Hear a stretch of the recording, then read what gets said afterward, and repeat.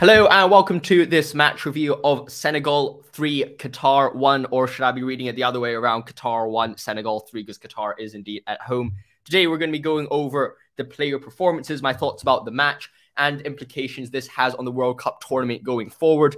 Qatar is one of the African teams that we really were looking forward to watch, and they have delivered a 3 1 win over Qatar, which is a very solid win, though I do think that the performance may not be as solid as the scoreline presents. I think that Qatar were a bit unlucky at times. And in fact, they could have easily been 1 1 at the break. So we're going to be talking a bit about this match. Hopefully you enjoy. And of course, if you have any comments and ideas and thoughts, and let me know in the comments below, and we will talk about it there. So without further ado, let us get into this match. And first of all, talk about the overall lineups and of course the players in the match. Now, Qatar set up with a back five as they usually do. They were playing more defensive and they played with a back five, three, and two up front. Afif Al Moez up front as a strikers, and I will not continue pronouncing any of the names because I really don't know. Now, I do think that um the the ratings on OneFootball app is a bit harsh. I would say that although the goalkeeper didn't have the best game, there wasn't much he could have done about the goals that were conceded. There were no like kind of like weak dribbling shots that went in. He was kind of let down by the defenders in front of him who made a few mistakes. However, apart from that, really there was nothing much he could have done to keep out those three goals. They were really good goals, anyways. And as a result, it is nothing much you can complain about that from the perspective of a goalkeeper. I think the defense did quite well until kind of the goal they conceded. Before that, they actually were defending quite well with a back five. It goes to show that when you have a back five and you're well drilled, you actually can do well. I think the problem did indeed occur when they were trying to go forward and then they kind of just broken down. The attack kind of broke down as they went forward. They played the ball long and then they either lost the ball, took too long on the ball and then they lost the ball and gave possession back to Senegal. And that is kind of what happens when you look at the stats. Senegal dominated possession. Now, on the Senegal side, you had um, kind of a 4 4 2, uh, according to um, the OneFootball formation. You had Mendy in goal. I think he actually did very good. I don't think he warranted the 6.3 rating. I think he made a few good saves to um, keep to keep um, uh, Senegal in the lead. And of course, uh, he couldn't do much about the goal they conceded. I think the goal was a very good header. I mean, they could have done a bit better in the marking in the box, I think, to get in front of the ball and actually head the ball out. But I think that it was generally a very good performance from Mendy. So I'm not sure why he got a 6.3.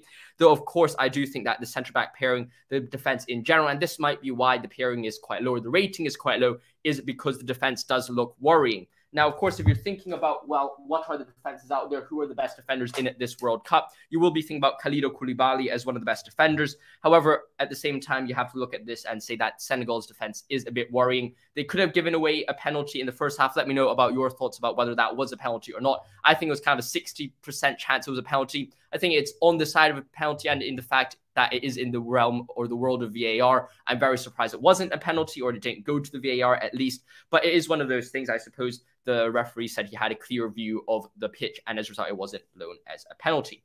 Now, up in the midfield, I think they actually weren't too bright, but not too bad. I think it was all right. I, I, don't think there was anything horribly wrong with Senegal. But at the same time, if you're looking about them going forward in the World Cup, I think without that threat of Mane up front, you do have that kind of a problem of that linking up from the midfield to the attack and actually scoring goals in the attack. Now, of course, they did score quite a clinical goal off the mistake of the Qatari player, and that's quite unfortunate for Qatar. But they did score those three goals. Second one was off a header from a corner, so that was well. Trainer went to the close um, to the front post, and he headed it in, flicked it over the keeper with his head, which was a very, very good header, I think, and it did very well in that perspective.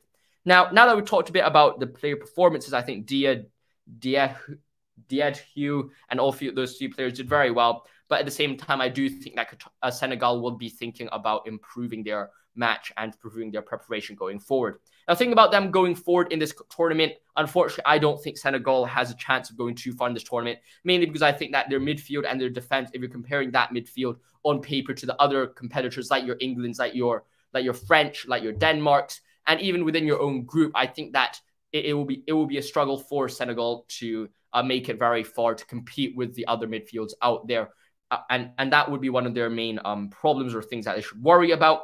However, apart from that problem in field, I think up front they also are lacking. I mean, you don't have any big names. Not to say I'm biased towards big names, but I do think it does help when you have um, kind of a confirmed or very strong striker up front. especially when your defense aren't top, top class. I think they'll do a decent team, but they probably wouldn't be up there competing further than the quarterfinals if they could even get past the round of 16. Now, that's my thoughts about Senegal. I think it'll be very difficult, if not already impossible, for Qatar to get out to the group stage. I'm not exactly sure what the group stage is like right now, but um, as as as as the um, season is loading up on OneFootball, I do think that Qatar is in a very difficult position. They probably would. I don't think they'll go through the, the other parts of their um table are already very very strong, so it's very difficult for them to actually do anything about it. And of course, I, I, I would say that Senegal would have a chance to go through. I think that they will be able to perhaps go through alongside Netherlands, and that pairing would be quite an interesting match. Senegal against Netherlands.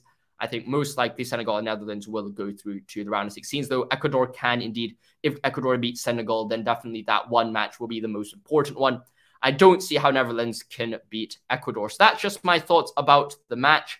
Um, of course, we'll know more about the Netherlands Ecuador match in a bit. I'm not watching that match, but of course, those are my thoughts. So those are my thoughts about the match. If you have any questions, let me know in the comments below. I love reading your thoughts and ideas. I'll try to read all of them. So let me know your thoughts about this match in the comments below. Hope you enjoyed. Stay safe. I'll see you soon. Thank you for watching and goodbye. I'll see you next one. Maybe I'll do a review of the England USA match, which I will watch, but I am watching it on the train so well, and I'm, I am traveling at that time, so it might be difficult, but I'll see you there.